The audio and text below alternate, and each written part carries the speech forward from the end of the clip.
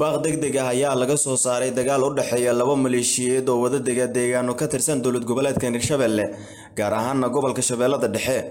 Degmooyinka ay dagaaladu ka socdaan waxa ay kala yihiin daymo samo iyo maandheere oo tiro dhowr jeer ah labadan dhinac ay ku dagaalameen odayaasha labada dhinac ku heyba ee halkaasi ku dagaalamay ayaa sheegay in dagaalka ka socda deegaanada daymo samo iyo sidoo kale maandheere ay yihiin dagaallo u dhexeeya dad walaalo ah oo wada dega degmooyinkaasi welina si shuruud la'aan ay ku joojiyaan sida ay sheegeen. Dhinaca kale odayaashan oo shir jaraa'id ku qabtay magaaladan jowhar ee caasimada dowlad goboleedka hirshabelle ayaa sheegay in dagaalka uusan xal ahayn. Wax walbana ay ugu muhiimsan tahay in lagu dhammeeyo wadaxaajood iyo sidoo kale in ay gogol isugu yimaadaan waxaan baaq dheer aan u soo jeedihaynay dadka walaalaha ee oo diriska eh oo deggan tuulada maandheere iyo tuulada daymasame wax badana dagaalla goosgoosa uu ka dhacay bahweynta lixda odayoo shiidlah ku baxday wax badan ay ka qabatay waxay isku haystaan soohin oo dhuleed. Dadkana dhexdooda lagama dhalino ayagaa diris e bahweynta shiidla weyn waa ku baxday. Muddo sitimaan ay soo joogta ayagoo markaas nabadeentaas ay inta jawhar ay ka baxday ee tuulooyinkaas ay tagtay. Nasiib wanaag meel fiican ay soo dhigtay. Kadib maandheere tuulada maandheere iyo tuulada daymasam waa isku soo noqdeen. Waxaa haddina mar lamaanta a gallay beesha sagaalo oo shiidlada ay ka tirsan tahay iyo beelaha baare oo weliba laga yimid culamaa u diinkii baare iyo waxgaradkii ay haddina maandheere iyo damasama gogol ay iskugu keenina heshiis guud ay haddina ay ka gaareen. Annagoo heshiiskii mar hore lixda odayoo shiidla heshiis ay ka gaartay.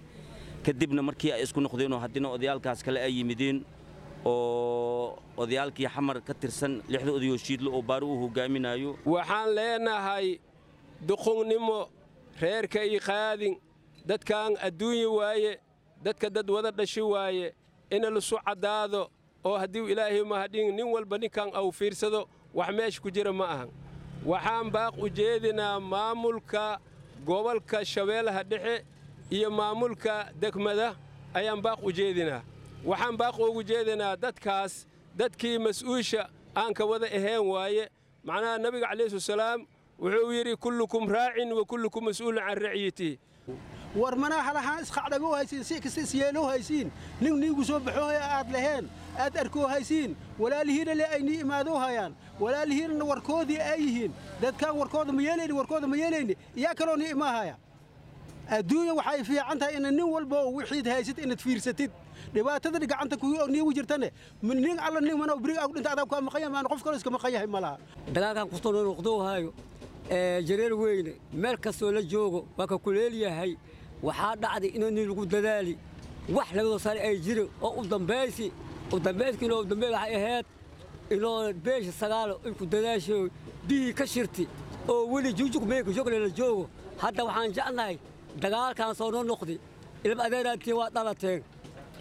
Abtoo eeso maatihiin. Damasame naagaa laga qabay. Maan eena naagaa laga qabay. Ilmihii dhalle isgaboo haya war taas ceebay idin keenaysahay maamulku waxaan ka rabnaa inays gurmado oo dadkaasuu kala celiyo. Nin kasamo wixiisu kala goos shiidlaa u joogto. Dhul kala goos waxaa u joogta shiidlo cid kalenta u joogto horto ma jirto. Laakiin maamulku waxaa laga rabaa in isbaxo oos arrintaas soo fiiriyo tiro dhowr jeer ah ayay ku dagaalameen deegaanadan lagu kala magacaabo daymasamo iyo sidoo kale maandheere oo ka tirsan gobolkan shabeellada dhexe. Waxaana horey loo xalliyey labadan dhinac iyadoona hadda uu soo laba kacleeyey dagaalka u dhexeeya. Cumar guxurbaynta city jowhar